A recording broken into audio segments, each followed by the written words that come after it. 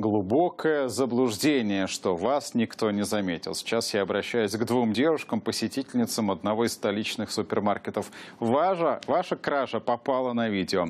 Мы не смогли пройти мимо этого случая и тоже решили его вам показать. Вот что бывает, когда используешь тот или иной предмет не по назначению. В нашем случае девушки использовали собственное тело. С помощью него они устраивали кражи. Одно движение и шоколадный баллончик у вас вот в чем, дальше не могу сказать, где именно, но точно не в кармане. Сколько раз похитительницы прибегали к подобной процедуре, точно неизвестно. Но, судя по скорости, с которой все происходит, они точно знатоки своего дела.